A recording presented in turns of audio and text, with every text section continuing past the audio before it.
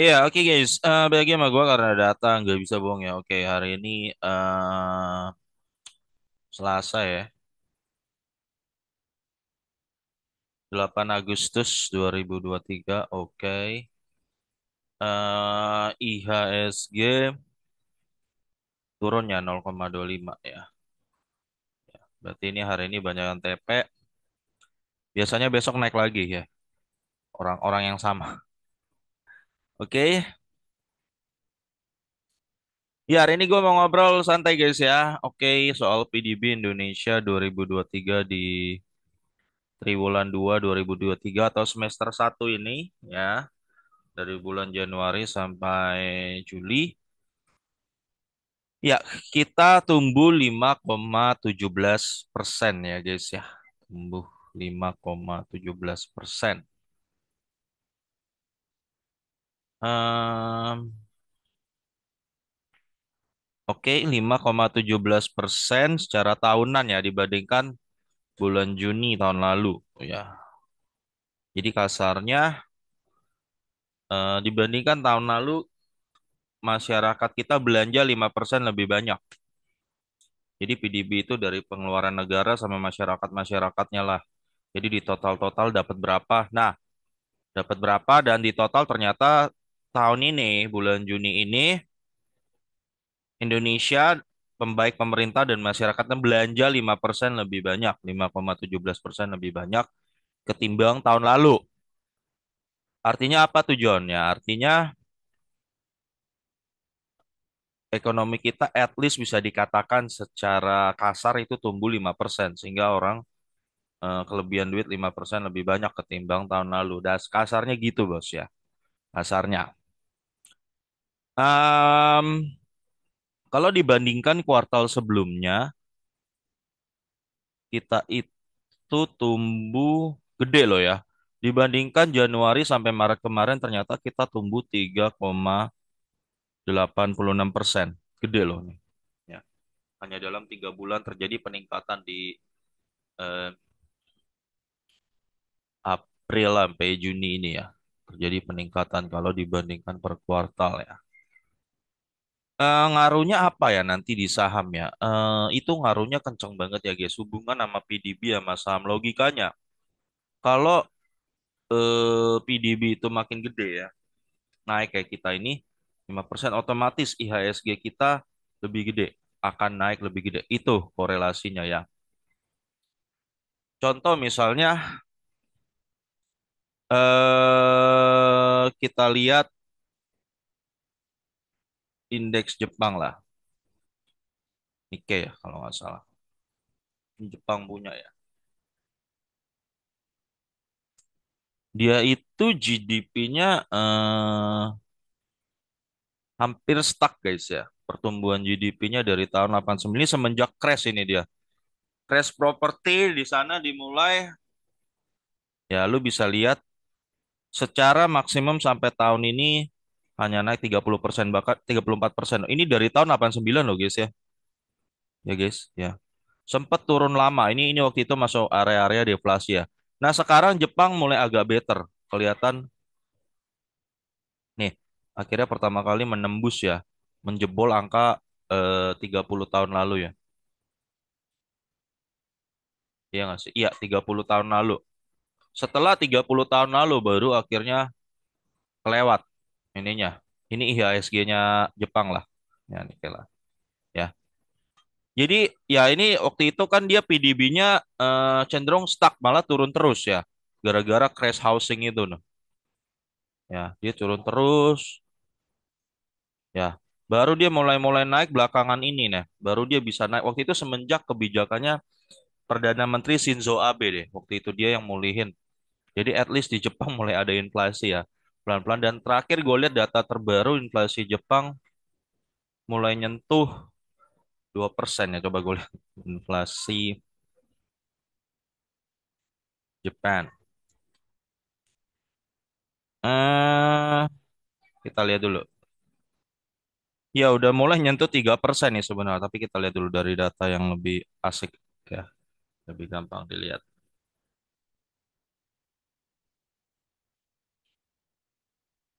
Iya, nih Jepang udah mulai inflasi nih 3 persen ya, 4 ya. Dari tahun 2022. Padahal sebelumnya kalau lima tahun tuh, lima tahun ya, eh, tahun ini yang cukup parah. Nah sekarang semenjak dari tahun 2002-an nih ya, Jepang udah mulai ada peningkatan ekonomi. Terlihat dari inflasi. Inflasi itu nggak selamanya buruk guys. Inflasi itu kadang kita bisa dapat cerita yang oke lah dari sebuah kata inflasi ini ya, di mana berarti Inflasi itu kan terjadi kalau permintaan lebih banyak daripada supply. Artinya orang mau keluar belanja gitu loh. Ya, berani eh apa istilahnya orang tuh cuman bakal sering belanja kalau dia kelebihan duit gitu dulu guys. Logikanya pahamin dulu.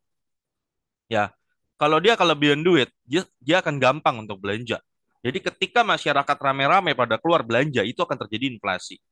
Ya guys. Nah itu guys. Jadi inflasi itu bukan sesuatu yang buruk asal terkontrol. Nah kayak Jepang ini udah mulai inflasi. Makanya ketika dia mulai inflasi dibandingkan dulu ya. Kalau lu lihat 10 tahun ini, ini ini kan dia sempat deflasi berkali-kali nih. Sempat malah nggak naik nih. Makanya IHSG-nya dia stuck begini guys. Lu harus paham ya. Nah ini korelasi nanti nanti eh, apa sih korelasinya kita nih tumbuh 5% PDB apa? Ya itu nanti ke IHSG kita ya. Bandingkan dengan IHSG kita ya. Ini contoh IHSG yang eh, cenderung naik ya, ini mata. Ya, grafik kita kalau dimaksimumin, nah kita cenderung naik ya, ya nggak? Cenderung naik. Ya, ketimbang Jepang yang malah kayak apa? Kora-kora gitu kan. Dulu pernah ngasih di Ancol nih kora-kora. Ya. Nah itu ada hubungannya sama ini berita yang tadi baru gua kesajikan kenaikan PDB kita. Jadi inflasi itu bukan sesuatu yang harus dimusuhi. Inflasi harus ada minimal ya tiga empat persen, eh, 2, 3, 4 persen tuh harus ada untuk menunjukkan bahwa masyarakat itu at least bertumbuh gitu loh. Ya, jangan anti sama inflasi ya guys ya. Kecuali kalau inflasinya terlalu gila nggak terkontrol 8-10 persen, nah itu baru bahaya. Ya. Kalau nggak terjadi inflasi itu justru malah buruk guys ya. Nggak nol persen, lu maunya nol persen. Ini nih, ini kadang kalau kita orang kan kalau beredar teori kan di masyarakat kan di beberapa tertentu lah. Wah, kalau harga lebih baik nih nggak naik gitu loh. Seolah-olah inflasi dimusuhi lah. Seperti yang tadi gua nonton, inflasi adalah racun ya. Jadi salah satu influencer, gua kurang agak kurang setuju sih tapi seolah-olah seolah-olah pemerintah yang menyebabkan inflasi itu padahal nggak juga. Enggak gitu loh, kalau menurut gua ya. Eh, kalau lu ada di situasi di mana inflasi itu kecil, itu justru artinya, guys, artinya masyarakat tuh nggak belanja di situ. Mereka lebih milih nahan uangnya, duit pas-pasan, biaya hidup besar, mereka nggak jajan. Artinya apa? Itu terjadi terjadi situasi yang deflasi. Ya, sekarang kalau lu lihat inflation in China hari ini ya, ini tuh ngeri. Makanya em, lihat ya, kita kita ngomong data nih. Jadi kalau ditanya apakah Cina ekonominya lagi melemah, kalau gue ngeliat dari data inflasinya, iya, iya, ya. Nih inflasi Cina ini ngeri loh ya. Nih nih lihat ya. Ini dalam satu tahun terakhir ya. Oke, biasanya kan dia inflasi ada di sekitar 2,8 ya, 2,1 nih. Semenjak masuk Desember guys, dari Desember ke Januari tahun ini ya, itu inflasi dia cuma satu persen, 0,7, 0,1 bahkan 0,2. Di sini sekarang di China berarti kita lagi dapat cerita nih selama enam bulan ini orang-orang China nggak belanja, eh, menahan belanja. Kenapa orang menahan? Ini ini situasi. Kenapa orang menahan belanja itu karena kekurangan uang. Biaya hidup besar, pas-pasan lah, istilah pas-pasan sehingga nggak ada duit lebih yang bisa di-spend. Entah untuk belanja di mana. Lu kalau pengen tahu kondisi ini mirip waktu kita awal-awal corona di 2020. Ingat ya, 2020 sampai 2021. Ingat ya, kita gaji pada dipotong. Pekerjaan susah. Otomatis lu lebih banyak di rumah kan. Makan lebih irit, iya nggak? Belanja lebih irit, iya nggak? Ya gue ngomong terutama kalangan menengah bawah pasti lu ngerasain banget ya. Mungkin kalau yang duitnya banyak nggak berseri mungkin nggak terlalu merasakan ya. Eh, gue bicara yang kalangan menengah bawah tuh pasti kan dia akan sebisa mungkin untuk tidak keluar, tidak keluar jajan. Ya sebisa mungkin mempres lah, dipres pe- pengeluaran mereka. Nah, itu menyebabkan waktu itu kita juga eh, data inflasi kita ya, kita lihat data inflasi kita di corona ya.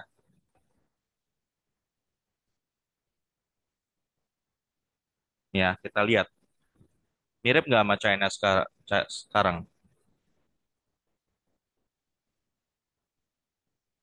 Ini data inflasi kita di corona nih ya. Hanya satu persen lihat di sini. nih. Lu lihat ya, range satu persen. Nah, jadi lu kalau lu pengen tahu apa yang terjadi di China sekarang dengan inflasi 0,1, lu lu lu bayangin waktu lu di 2020 2021. Ya, kita jarang keluar ya nggak sebisa mungkin menahan diri untuk enggak keluar. Nah, ini yang terjadi di China saat ini data inflasinya. Jadi apakah nggak ada inflasi itu malah bagus ya? Kalau gua nggak setuju ya. Minimal inflasi harus ada lah 2, 3, 4 gitu loh. Harus ada untuk menunjukkan bahwa masyarakat eh, aktif gitu untuk spending seperti itu. Eh, saat ini kalau lo bandingkan ya, kita kan hari ini naik 5,17 persen GDP-nya. Itu gede loh guys ya. Kema- tadi bikin sempat hitung-hitungan ya guys. Eh, kalau kita terus rutin naik 5% ya guys per tahun nih ya. Saat ini GDP kita di sekitar eh, 4.332 ya. Tadi gue cari data. Kita per kapita sekitar ada di 4.072 nih kalau menurut data terbaru ya. Eh, di akhir 2022 4.073 itu sekitar per kapita itu sekitar 5 jutaan guys. 5 juta tahun lalu ya Desember ya 5 juta per bulan. Rata-rata orang Indonesia menghabis belanja gitu ya. Ya mungkin aja kalau yang di daerah Jawa Tengah mungkin dia hanya menghabiskan dua tiga juta rata-rata karena kan eh, cost-nya lebih rendah di situ ya. Tapi kalau di rata-ratain se-Indonesia kita dapat 5 juta ya per bulan spending. Tadi gue iseng-iseng ngitung kalau kita memang naik 5% terus per tahun ya at least maka di tahun 2033 kita akan menjadi rata-rata ya orang Indonesia tuh akan menghabiskan 8,6 juta per bulan. Ya, 8,6 juta per bulan.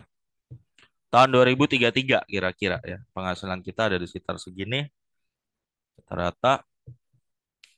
Dan itu artinya nanti akan ngaruh ke IHSG of course ya. Itu naik 60, 58 persen ya. Kira-kira IHSG mungkin di tahun 2033 akan nyentuh eh, sekitar 10.832 di tahun 2033. Ya, naik berlipat-lipat. Eh, otomatis saham-saham seperti perbankan ya udah pasti lo bakal bigger gede dalam 10 tahun ke depan. Kalau pertumbuhan ekonomi kita terus kayak gini, bagus 5%, 5%, 5%, 5% ya kalau bisa tinggi mungkin 7 atau 8%. Ya. Itu IHSG kita bakal terus naik pasti. Ya, hampir pasti itu. Ya. Ya kayak tadi kan kita udah kasih lihat data ya di Jepang sendiri Nikkei aja eh, kalau dia deflasi ya masyarakatnya cenderung turun. Ya China yang sekarang mungkin lagi agak ngeri sih gue data inflasinya ya. Tapi lucunya kalau lu lihat data China eh, GDP-nya ya, pertumbuhannya ya ini apa nih? Coba kita lihat. Ini ini China GDP ya, dia malah katanya tumbuh 6% di semester satu ini ya. Ini konon kata orang, gue baca beberapa artikel tuh katanya sih beberapa ahli meragukan lah. Ya, kok bisa dia naik 6% gitu ya. Ini khusus China aja loh. Takutnya dimanipulasi sama pemerintah pemerintah sananya gitu kan. Soalnya kalau lu lihat data inflasinya, make sense gak sih kalau kalau eh, lu katanya belanja 6% lebih gede daripada tahun lalu gitu kan. Tapi kok data inflasinya malah 0,2 persen kan gitu kan. Nggak make sense gitu loh. Kalau gua, konon gua lebih percaya yang ini data inflasinya ketimbang kalau khusus China sekarang ya. Gua lebih percaya yang ini karena karena krisis rumah kemarin, house crashing. Ini mirip polanya di Jepang waktu tahun 89 sampai tahun 96 ya. Itu itu mirip polanya di Jepang. House crashing dulu terjadi. Ya. Bahkan eh, dua hari lalu gue baca artikel Japanification lah. In China, takut nih. Di China sekarang terjadi pola yang mirip. Ya, ini gue kemarin baru baca eh, dua hari lalu. Di China itu sekarang terjadi pola yang mirip dengan pola yang terjadi di Jepang pada tahun 89, 90 sampai 96 itulah terjadi pola yang mirip. Ya. Makanya ini udah mulai arah deflasi nih, nih, nih, nih, nih. Ini dia nahan belanja ya. Kenapa? Kenapa guys? Karena kan mereka kan waktu ya kemarin lo yang nonton video gue soal China kan mereka kan banyak yang ngambil properti itu kan. Properti lagi bubble, crash, jebret ya nggak? Orang-orang ini yang ngambil di harga pucuk guys. Habis gitu, duitnya habis. Jadi mereka hidup bayar cicilan cicilan yang rumahnya juga mungkin udah pada dijual di harga dibanting murah, udah udah uh, propertinya udah dia jual, dianya masih harus bayar ke bank. Lu bayangin gimana orang-orang ini bisa ada duit lebih untuk spending. Kalau dia habis duitnya habis buat bayar cicilan ke bank. Gara-gara housing crisis itu. Ya enggak, makanya mereka nahan belanja. Ya terjadi nahan belanja. Nah ini nggak kebetulan ya habis housing crisis housing crash langsung begini tuh inflasinya tuh langsung jebol. Ya, ini katanya mirip situasi di Jepang ya. Jadi kalau untuk khusus data China nih yang dia naik uh, eh, 6% sih agak di gue sendiri kok nggak mas uh, nggak make sense ya. Ya katanya belanjanya lebih gede 6% dibandingkan tahun lalu. Masyarakat China-nya tapi kenapa inflasinya malah lebih kecil dibandingkan tahun lalu. Tahun lalu kan inflasi di bulan ini kan sekitar ya harusnya dua setengah atau 2,8 itulah ya nggak? Kenapa sekarang jadi 0, itu ya? Oke okay, uh, eh, China sendiri gua agak ragu ya udah 6 persen ya. Uh, kalau Indonesia ya ini sekarang kita 5,17 persen Indonesia ya kita stabil ya guys ya doain aja kita stabil nih ini ini corona kita sempat deflasi tuh corona tuh uh, bukan sempat turun PDB-nya ya ya PDB turun pasti kan harga-harga banyak turun terjadi deflasi ya kita sempat turun PDB-nya terus naik. Nah, kita mulai stabil di sini. Semoga aja stabil sampai 10 tahun atau selama-lamanya, guys. Ya, amin. Indonesiaku. Nah, lalu ini Jepang ya. GDP Jepang gimana? Jepang tuh lihat. GDP-nya kecil ya, 0,1, 0,7, 0,4. Ya, biasanya negara baju tuh bakal kecil. Eh, negara yang udah pendapatannya itu gede ya, guys. 40 jetian GDP-nya ya. 50 jetian itu dia akan lambat paling naiknya satu persen malah cenderung sering turun kadang-kadang udah susah untuk melangkah naik dia ya kayak gini Jepang sekarang hanya naik 0,7 persen ini apa Jerman Jerman lebih parah malah minus 0,1 lagi krisis kalau nggak salah katanya. Krisis atau resesi gitulah Jerman. Jerman lagi krisis guys. Ya. Ya kalau lu lihat berarti di Jerman lu udah dapat bisa bisa dapat cerita ya masyarakat kagak spending. Ya nggak? Karena krisis gitu loh. Ya, krisis atau resesi ya, resesi lah mungkin. Lagi resesi mereka sekarang. Mereka menahan belanja karena untuk bayar kehidupan sehari-hari aja udah pas-pasan di sana. Jadi lo jangan pikir bahwa wah enaknya tinggal di Jerman ya, oh gaji 50 apa 40 juta ya, tapi itu kan kebutuhan di sana gede juga aja nggak sebadan nggak sebat nggak sepadan. Jadi kalau lu lihat angka ininya nggak sepadan. Gaji sama kosnya itu nggak sepadan. Amerika nih hanya naik PDB-nya tuh hanya 2,4 ya biasanya enggak 2,4 PDB-nya ini apa nih Inggris Inggris hanya naik 0,1 parah ya parah banget Inggris ya negara-negara Eropa eh, di Eropa juga sama Inggris. Nah ini kalau yang dibikin di Inggris ini kayak begini sampai banyak orang-orang di Inggris itu yang menyesalkan Brexit ya. Karena menurut mereka gara-gara Brexit nih kita jadi ancur begini ya. Tapi gue pribadi sih kayaknya bukan salah Brexit juga ya. Soalnya kalau lihat Jerman sendiri juga Jerman juga nggak lebih buruk dari Inggris gitu. Jadi er, jadi lo pikir jangan berpikir lo lihat Eropa tuh lagi enak-enak enggak guys. Ya. Kalau lo tinggal di Indonesia lo bersyukur tinggal di Indonesia kita naik 5,17 loh. Di Di Asia Tenggara ini paling gede saat ini untuk GDP ya, paling gede Asia Tenggara. Indonesia, Vietnam, eh bukan ya, Malaysia, Indonesia, apalagi tuh. Eh ya pokoknya daerah-daerah Asia Tenggara lah, naiknya gede ya. Kecuali mungkin Thailand sama Singapura yang kecil. Karena Thailand udah udah gede duluan dia. Thailand ya, Singapura juga emang dari dulu udah gede. Jadi dia naiknya juga cuma kecil, Thailand sama Singapura. Tapi kalau Indonesia, Malaysia ya naiknya gila-gilaan. Ya, kalau nggak salah Kambo, Filipina juga, oh Filipina, Filipina lebih gede dari kita. Sama Kamboja mungkin ya, Kamboja atau Vietnam. Gitu. Ya oke guys, jadi gua rasa eh gitu aja curcol gua. Jadi berdasarkan data PDB ini berarti ISG ini cenderung positif ya. Kita cenderung pasti akan arahnya naik ya. Apalagi kalau tahun depan naik lagi 5% di kuartal satunya eh, itu ya pertanyaan ini benar nggak bisa di menurut lu eh, pertanyaannya info soal GDP Indonesia dan 5,17% ini benar nggak atau dibuat-buat pemerintah? Menurut gue sih benar ya karena kan gue ngeliat laporan keuangan kayak auto aja naik gede. Auto kan jual spare part ya. Berarti kalau labanya aja naik kalau nggak salah 80 persenan atau berapa gue lupa tuh ya berarti kan orang lebih banyak belanja spare part motor contoh kan ya kan bank pada meningkat terus apalagi eh, banyak dia yang laba-laba meningkat ya ya mungkin ada sektor yang lagi hancur tapi kayak misalnya sektor apa tuh tekstil atau apa itu kan lagi hancur tapi itu kan itu karena global ya bukan karena dari Indonesianya sendiri gitu loh. Ya Eh, jadi mostly apakah data 5,17% itu eh, benar? Ya menurut gue sih benar gitu aja. Oke guys sampai ketemu lagi video gue berikutnya karena data nggak bisa bohong